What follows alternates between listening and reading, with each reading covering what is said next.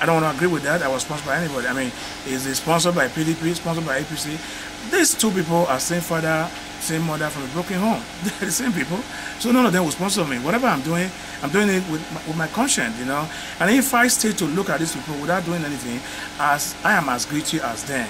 I think if Obaseki has uh, borrowed the money to develop the uh, country or to improve our infrastructures or to build roads, is commendable. I, am not accusing of anything. All I'm asking is that I'm using the power of uh, FOI, Freedom of Information Act, to ask him to tell us what he has done with the money that he borrowed and what is the interest and when would the job be completed. Uh, that's uh, what I'm asking.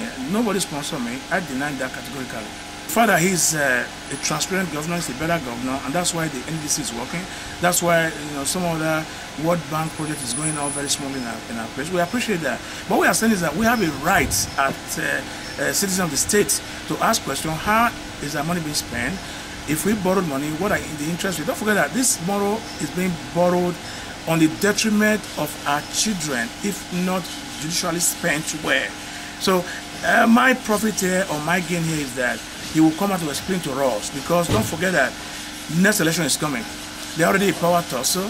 Some are drunk in Abuja who wants to forcefully take him out if he's not behaving properly. Uh, whatever happened to uh, uh, Ambode and Sowolo and Tinubu might replicate himself here.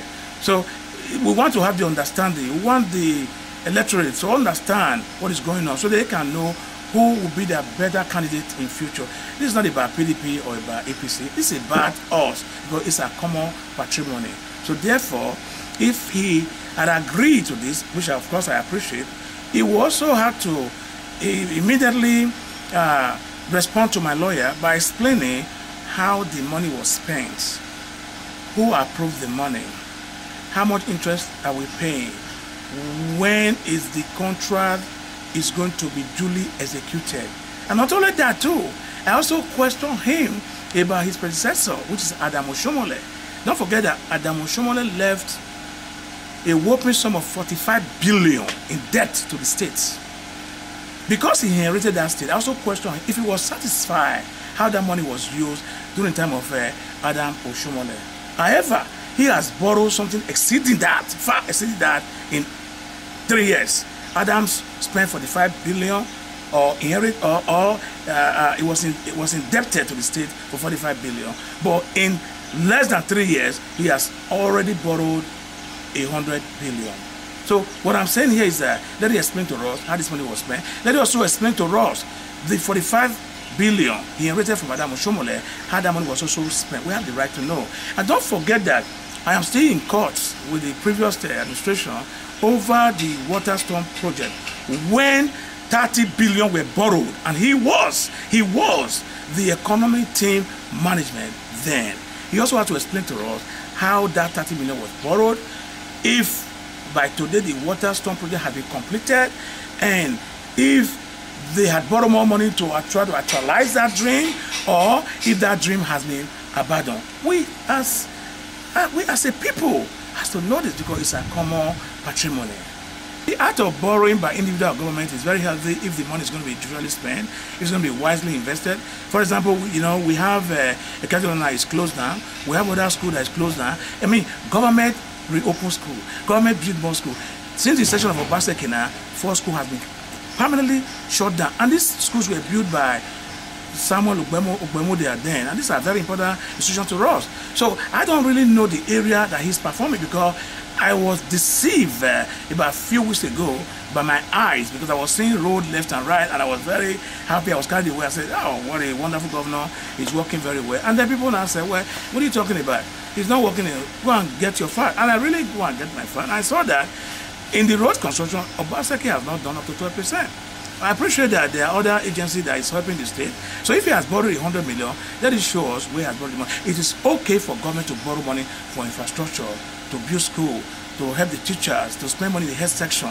But we've not seen of these things. And don't also forget that his predecessor, Adams Oshiomhole, staged and staged and, and deceived us with Central Hospital.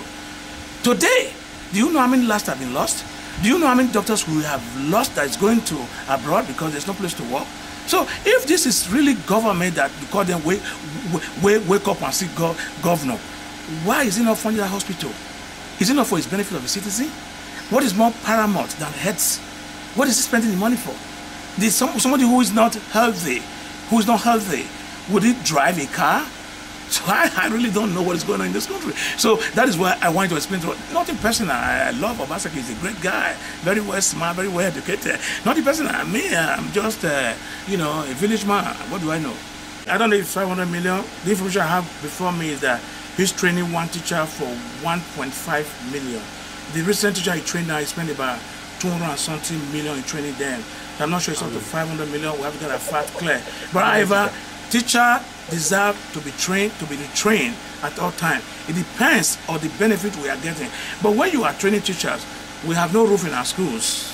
We have no school for the teachers. So what is the essence of training the teacher? I'm not saying it's not right to train teachers, but there, are, there have to be other provisions. So whatever he's doing can equate to the amount he's spending.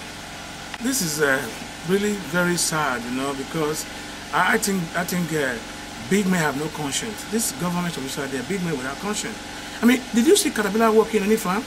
How many people, I'm, I'm sure that maybe uh, Rosalind, you know, my family were giving money, maybe they benefited from it because she's a journalist. But my family didn't benefit from it. I'm sure that uh, you, uh, uh, wonderful Dave, you didn't benefit from it. So these are all scam. They were nothing like that, but the money, we are still investigating it. Some are saying it's 3 billion, Someone says 3.2, someone says 3.5, but I have written a letter. I'm expecting information, and when the information comes to reach me, I will let the press know. So he can explain to us how that money borrowed again for the sake of farming, how it was spent. We are going to continuously monitor and police the government because we have the right to police them. Same way we have the right to police the police.